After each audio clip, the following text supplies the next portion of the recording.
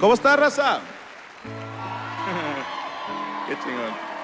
Primero que nada, agradecer a la gente que está organizando los premios de la radio. 20 años, 20 años, mis hermanos. Hace 20 años que estaban haciendo. Hace 20 años yo, yo trabajaba en radio. O bueno, quería trabajar en radio, pero primero quise ser conductor de televisión. Hice varias audiciones y me dijeron, tú para la tele no, estás más para radio. En aquel entonces no hacíamos transmisiones en vivo, en video, entonces era puro audio. Y entré a trabajar a radio con el sueño de algún día presentar música de banda. Ese era mi sueño, güey, más que pues lo tuve que ocultar. En aquel entonces yo tenía una novia. Bueno, yo decía que éramos novios, ella después me aclaró que éramos amigos nada más. No funcionaba con ella, no, no funcionaba. No me presenté bien con su familia. Su papá era un señor bastante gordo. Estaba no, no sentado, desparramado en un sillón. Y en cuanto me ve entrar, ni siquiera me saludó, nada más me dijo, tigre. Yo lo vi y le dije, marrano. Se saca de onda, me dice, rayado. Le dije, redondo. Dije, no estoy entendiendo el juego. Ese era el papá, el hermano de ella, no me quería. Le- Yo le caía mal. Y también, eh, digo que era puñal el morro, pero no sé. Porque cada vez que pasaba le daba una patada en la cola. Y el morro pase y pase todo el día, ¿no? Ah, pero no le, no le caía bien. Él me escondía la cartera o las llaves del carro o me perforaba los condones con agujas. no, y ya puestos, ¿no? Pero la relación no funcionó. Y tú te das cuenta. el hombre también tiene un sexto sentido. Te das cuenta cuando tu mujer no te quiere, cuando no te ama, por cómo te habla, por cómo te trata, cómo se besa con otros güeyes. Son señales. y ella me dejó y a los dos meses me buscó, me habló por teléfono, yo estaba en la casa viendo una porno. Pues era jueves, ¿no? Es lo que hago los jueves. Hoy, por ejemplo. Al rato, no, ya acabando, ya saliendo de aquí, ya saliendo de aquí. Sí, no, no sería tan falta de respeto. Me habló y me dijo, te extraño, baby.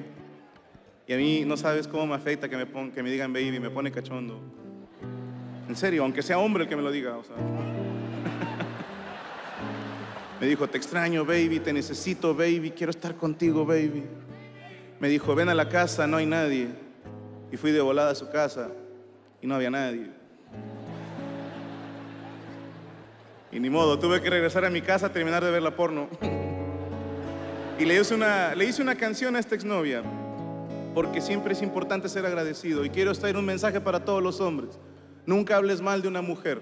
Recuerda que de una mujer vienes y para una mujer sirves. Sé un caballero y nunca hables mal de ellas. Hazle como yo, que me rompieron el corazón y en vez de hablar mal de ella le escribí esta canción, donde quiera que estés niña.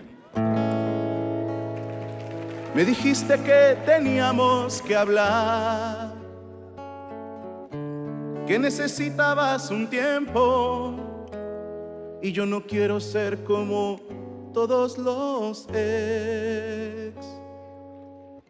Hablando mal de un viejo amor, yo te deseo lo mejor.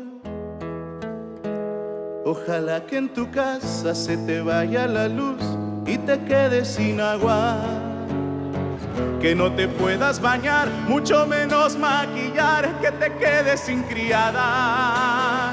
Que cada vez que sonrías te salgan espinillas y granos en las nalgas.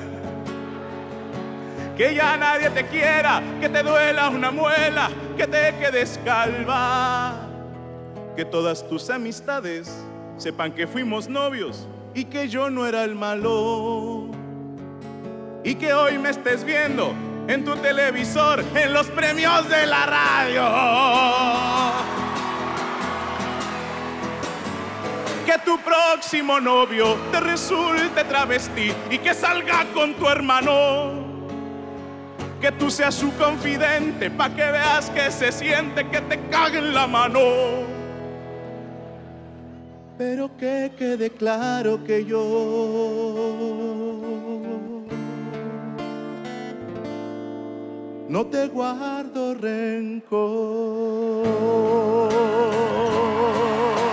Gracias, racita, gracias.